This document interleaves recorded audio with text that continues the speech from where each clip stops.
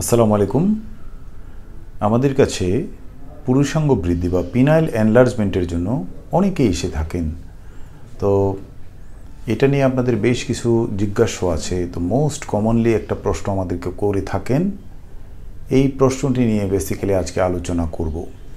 তো most commonly asked প্রশ্নটা হলো যে, এই যে আমরা পুরুষাঙ্গ বৃদ্ধি করি পিনাইল এনলার্জমেন্ট করি, এটা কি স্থায়ী বা পারমানেন্ট কিনা? হ্যাঁ এটা এক কথায় বলতে গেলে এটা স্থায়ী।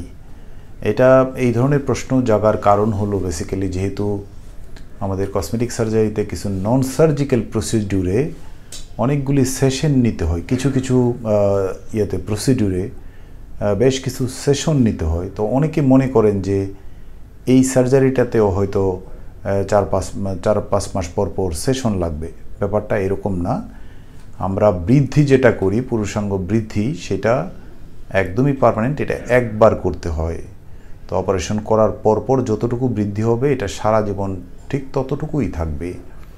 আর এটার পাশাপাশি তো আমরা আরেকটা কাজ করে থাকি, সেটা হলো যে পুরুষাঙ্গের ইয়েটা, প্রস্থটা বৃদ্ধি করে থাকি, যেটাকে আমরা গার্থ ইনক্রিজিং সার্জারি বলি। তো গার্থ ইনক্রিজিং সার্জারি তো আপনারা জানেন যে আমরা তলপেট থেকে বা যেখানে ফ্যাট আছে, সেখান থেকে আমরা ফ্যাট সংগ্রহ করি লাইপোসাকশানের মাধ্যমে। তারপরে ইঞ্জেকশনের মাধ্যমে পেনিসের দেওয়ার মতো করে উপযোগী করে তারপরে আমরা সেটা দিয়ে থাকি। তো এটা আমরা যতটুকু দেই, তার ফিফটি পারসেন্ট শুকিয়ে যায় আর ফিফটি পারসেন্ট ওখানে পারমানেন্ট থেকে যায়। ওই ছয় মাস পরে আপনার যতটুকু থাকবে, আপনি ধরে নেবেন এটা সারা জীবন থাকবে। এটা একদমই পারমানেন্ট এই জন্য আমরা ফ্যাট দেওয়ার সময় কিছুটা বেশি দিয়ে থাকি যাতে করে আপনার এই অ্যাবজর্পশনটা যতটুকুই হোক একটা ভালো একটা অ্যামাউন্ট থেকে যায়। তবে হ্যাঁ এটা আপনি ঐচ্ছিকভাবে আপনি যদি মনে করেন, ছয় মাস পরে পরে বেশ কয়েকবার নিতে পারবেন। এতে কোনো সমস্যা নেই। আপনি একবার করার পরে ছয় মাস পরে আবার এটা ফ্যাট দিয়ে আরেকটু মোটা করে নিতে পারবেন।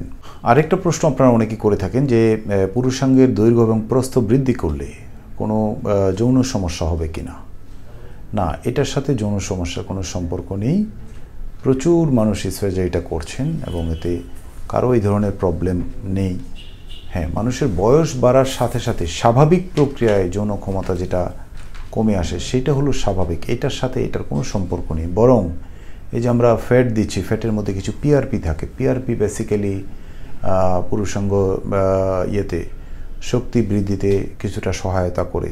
যদিও আমি পিআরপির কথা কখনো বলি না, কারণ কি, যেটা এখনও এক্সপেরিমেন্টাল অর্থাৎ পরীক্ষাধীন আছে।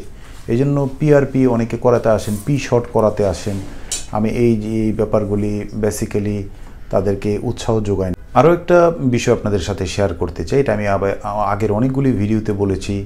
তারপরেও অনেকে ভুল করে এখানে আসে, আমার কাছে সাথে যখন কনসাল্ট করেন, তখন ভুল করে একটা কথা বলে থাকেন যে, স্যার, আমার তো যৌন ক্ষমতা খুবই কম, যে এই জিনিসটা শক্ত হয়ে দাঁড়ায় না বা ইয়েতে আমার ডিউরেশন খুবই কম, সময় খুবই কম পাই।